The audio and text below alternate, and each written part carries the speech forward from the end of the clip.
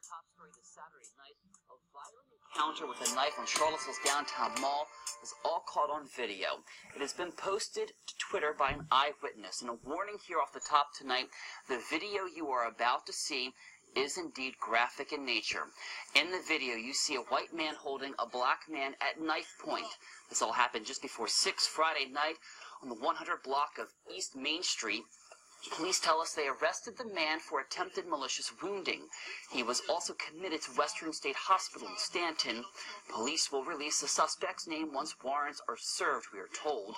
The victim suffered a cut to his hand. What is unclear tonight is exactly what led up to that violent encounter.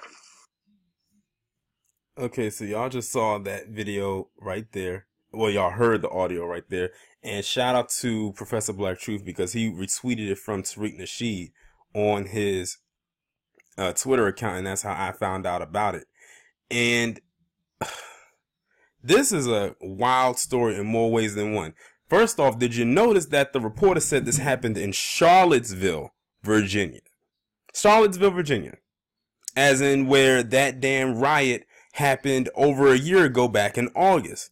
I'm telling you, Virginia is a very racist state. I was actually on a, uh, listening to a, uh, a live stream that Angry Man was having on his channel yesterday, and he was talking about how racist uh, Virginia is. I was basically saying you preaching to the choir because I already know how racist Virginia is, especially after you get past a certain point. Now, for those of you who aren't familiar, if you're talking about the uh, the upper part of Virginia, like northern Virginia, that's close, more closer to DC, more closer, you know, like to that part, then you might be safe. But once you start getting down to like Richmond and beyond that, Lynchburg and Roanoke and all them other places, yeah, now, now you're getting into a more racist part of VA. And those of you who have traveled through that know exactly what I am talking about. Let's just say that you wouldn't want to have your car break down out there and it's dark because, uh, good luck getting out of there unscathed. But anyway, so you had this guy right here, as you can see, he has the guy at knife point in this picture. They blurred out the black man's face, but I can even see through the blur the black man looks scared shitless. And he has this guy at knife point. Now, we don't, like I said, we don't know why he did it, but they put, they took him to a mental facility. Know that they took him to a mental facility.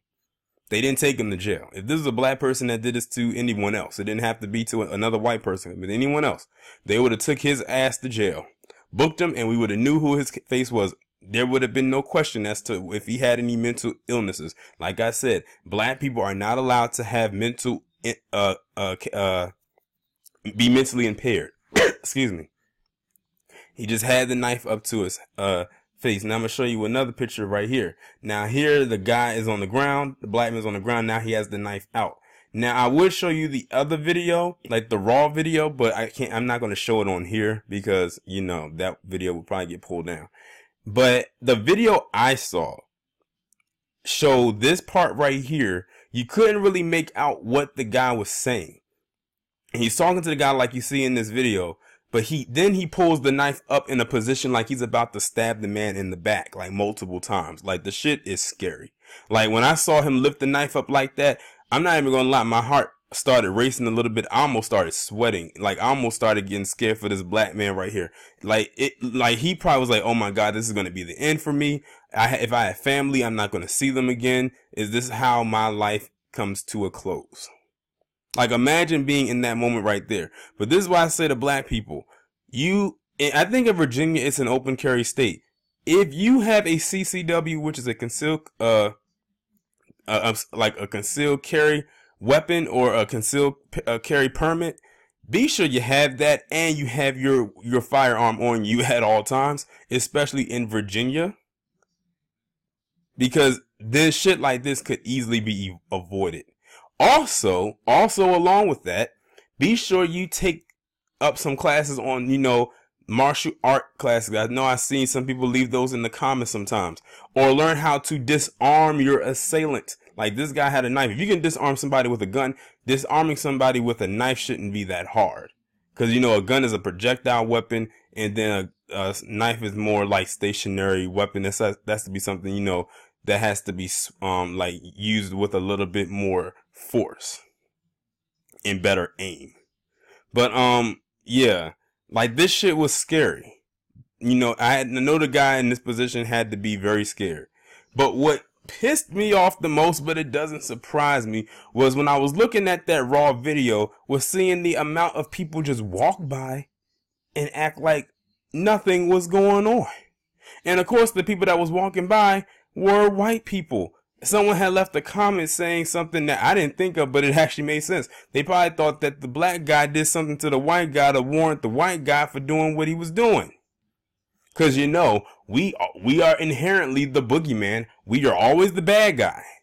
So this guy who clearly is off his goddamn rocker had every right to have this guy at knife point not once but twice. Once to his neck and the other to his back.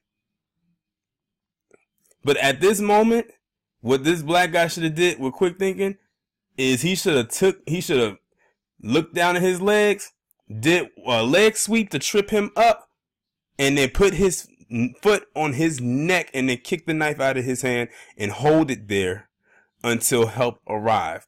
Or at least put him in a sleeper or something.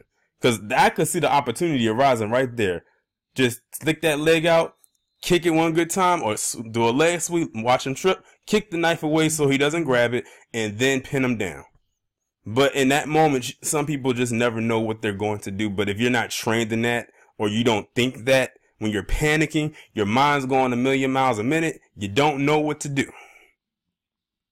But like I said, them white people walk on by, like act like nothing happened. This reminds me of an incident that happened, I think a month ago, where that resource officer body slammed this boy, this black boy who was special needs, and them white women was in that office, just all they could say was, oh my God, oh my God. They didn't do not one damn thing. All they held were their papers and that, that whatever, their paperwork and didn't do anything. They got on code and they stayed right there. They did not once help this man. Now, if it was reversed, they would have went after the guy.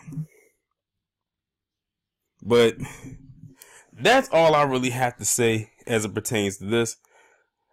Y'all let me know what y'all think down in the comments. Like, share, subscribe. The links will be in the description. I'll talk to you in the next one.